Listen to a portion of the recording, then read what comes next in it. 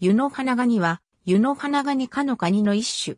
フィリピン海、プレート東端のミヤマ郡にある、深海の熱水噴出口に生息する。生息深度は、湯の花ガニ類としては、浅く、420-1380メートルである。2000年に、オースティングリア族の一種として記載されたが、2007年にコリ・マクレイにより新族ガンドルファスに移動された。この族名は、指輪物語のガンダルフに由来する。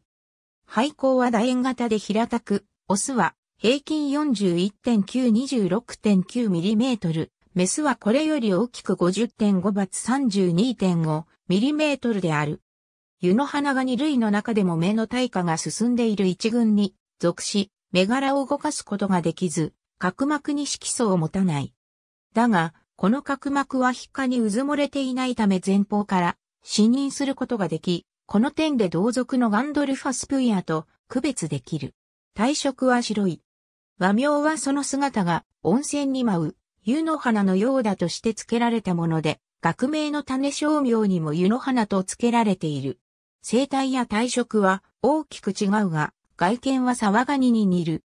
深海底の海底火山や海嶺の熱水噴出口の周囲に高密度で生息し、他の多くの生物と共に化学合成生態系を形成する。食性は肉食性で生息域に同居するチューブアームなどを捕食している。深海6500などの深海探査船によって捕獲されることがある。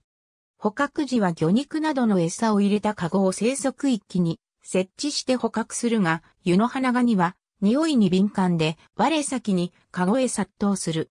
現在のところ、水産資源としての価値は見出されていないが、興味深い深海生物として研究が行われており、日本科学未来館、新栄の島水族館などで生態が飼育されている。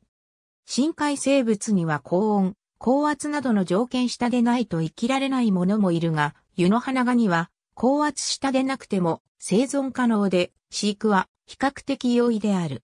また、明るい時はあまり動かず、暗くなると行動するという生活リズムを持つことが判明している。湯の花ガニ科の科には多くの種類が世界中の深海に分布しているとみられるが、深海生物ゆえ詳しい生態や種文化などが不明で、これからの研究が待たれる。ありがとうございます。